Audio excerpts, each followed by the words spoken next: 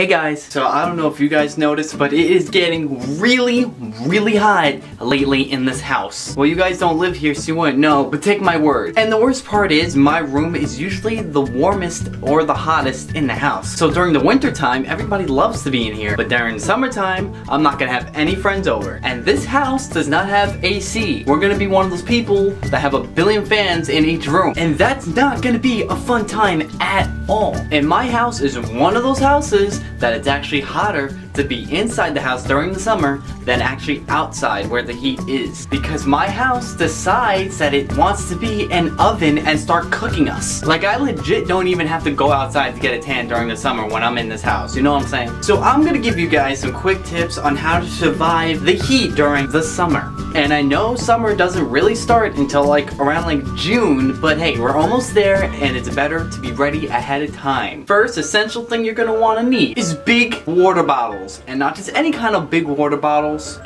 cold ones. Yeah, you thought I was gonna say a brand, but I didn't. I mean, obviously water is gonna become your best friend, like anytime soon, it's happening. But if you guys live out in Florida or California, you already know what it's like. Don't even watch this video. You can just hop out and go like watch some other funny comedy video like Deadpool or something, who knows. Try to always wear baggy clothes or shorts, because if you wear a tight shirt, even though it's not a long sleeve shirt, it's still tight on you and you might feel really hot because of the tightness. But if you wear a baggy shirt, it's loose, you can pull it around, it doesn't feel heavy, it just feels natural and it's not in your way and it's not sticking to your skin. And if you, when it comes to your pants, you can wear baggy pants if you don't own shorts, but if you own shorts, I'm telling you it's probably a better idea to go ahead and select those. Another thing you're gonna wanna do is wear white. I mean, this might not help when you're inside your house, but when you're outside of your house, it will help a lot. Do not wear black. I mean, come on, we do not need heat attracting to you. We want it to reflect off, okay? So white is your choice. Now waking up in the morning and going to sleep at night is probably gonna be really hard because of the heat. Well, here's a tip on how to wake up a lot easier and how to go to bed a lot sooner. You just get up and you go into the shower because I can't tell you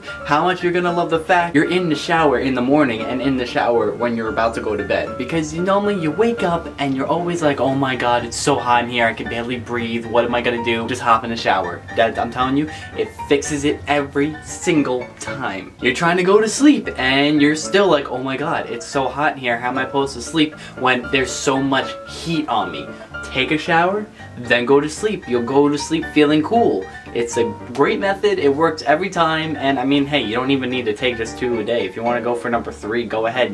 Maybe for some reason, you want to take one during the afternoon. Maybe you just got out of work. I'm not limiting you on how many showers you can take in a day, okay? Another thing you guys can do is go ahead and like cut your hair, get yourself a trim, because honestly, too much hair on your head is gonna be worse. For all you people that have hair out there, just put your hair in a ponytail or go ahead and like get yourself a trim or get yourself a fresh cut and you won't have to worry about sweating on your face so much and drenched hair. It's just disgusting and it will look a lot better during the summer if you just like did something with that. Of course, not everybody has an air conditioner. I mean, those are pretty expensive to have and use. But if you guys have fans, try to put the fans by the window pointing inside your room and leave the window open a little bit but just keep the screen down because then the fan will pull in the cool air from the outside and keep your room cool. This works better though when it's towards getting late at night than it works during the day because sometimes it is really hot outside and then you're only pulling in hot air into a hot room. But